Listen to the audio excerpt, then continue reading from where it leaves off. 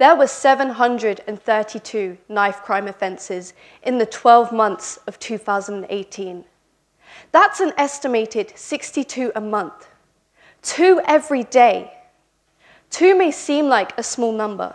So, to put that into perspective, in no more than two months, almost everyone in this room will be gone.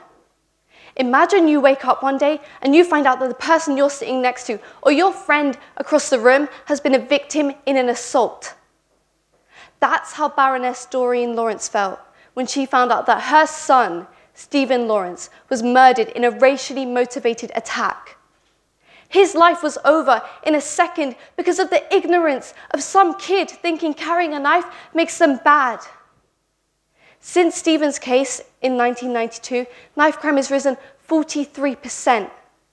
Jaden Moody, 14, Nedim Bilin, 17, and Lejon Richards, 19, were all killed as a result of stabbings.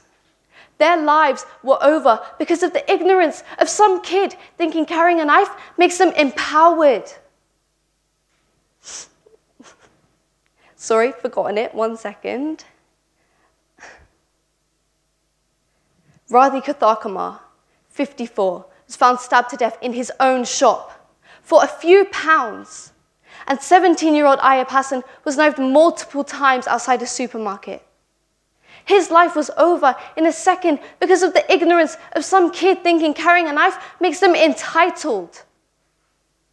But with the help of campaigns and charities such as the YCYF movement and the Knife Free Foundation, we can change that 732 to a zero and prevent people like Ayub Hassan, David Martinez, and Stephen Lawrence from losing their lives. Why wouldn't you want it all to just stop? Thank you.